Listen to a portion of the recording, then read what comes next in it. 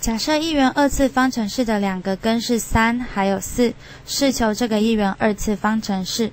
好，那我们知道呢，根与系数的关系，两根之和，阿尔法加贝塔会等于 a 分之负 b。那两根之积呢，阿尔法乘贝塔是等于 a 分之 c。所以我们的这个一元二次方程式呢，就是 a x 平方加 b x 加 c 等于零。好，如果我们假设 a 是一的话呢，是就是一分之负 b。好，那下面这边呢就是一分之 c。好，那我们就可以知道，负 b 是就等于阿尔法加贝塔。那 b 的部分是就是等于负的括号阿尔法加贝塔。好，那 c 的部分呢，一分之 c 等于阿尔法乘贝塔，所以 c 的话就会等于阿尔法乘贝塔。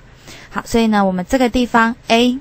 所以就是带一的时候，就是 x 平方加上呢，这边是 b 的话就是负的，所以我们这边呢就把它改成负的，就是负的阿尔法加贝塔。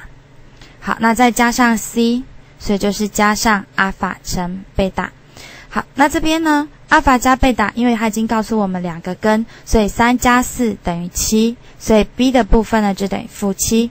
好，c 的部分呢，两个根相乘，所以三乘以四等于十二，所以我们再把它带进来，就可以得到 x 平方减七 x 加十二等于零。